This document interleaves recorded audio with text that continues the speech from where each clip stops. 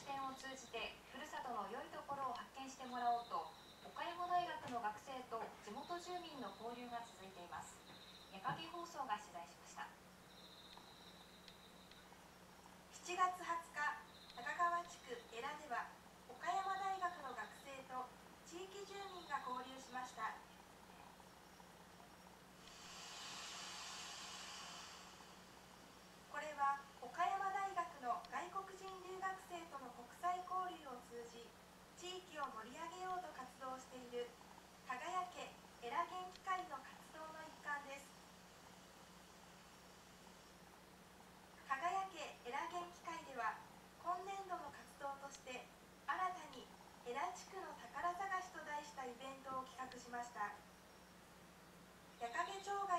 に江集落に来てもらい外部の目線で集落のいいところ自慢できる点を発見してもらう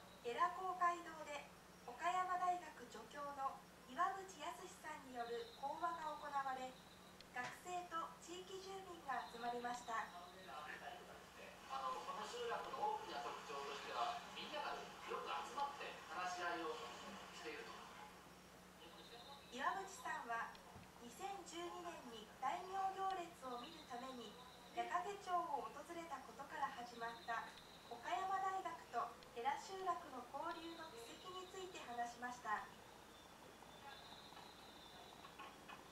その後で参加者全員で夕食を食べました。この日の献立は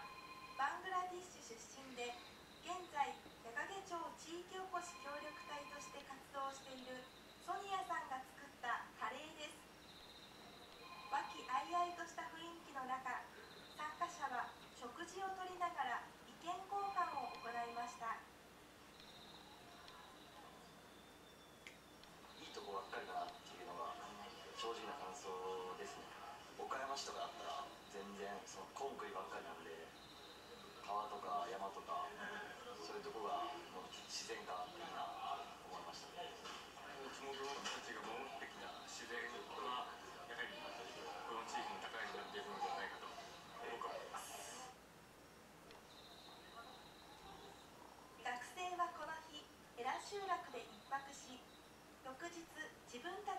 う地域の宝を発表しました。